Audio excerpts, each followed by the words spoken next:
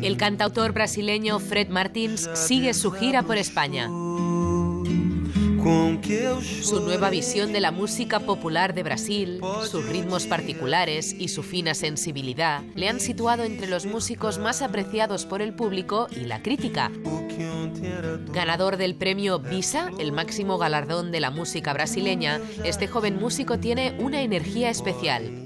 Le veremos muy pronto en Miradas 2, porque es artista invitado en el último espectáculo de María Pajés, Utopía.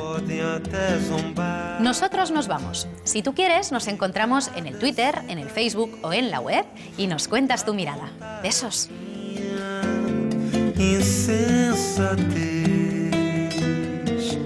Mas não venham dizer que eu nunca fui feliz.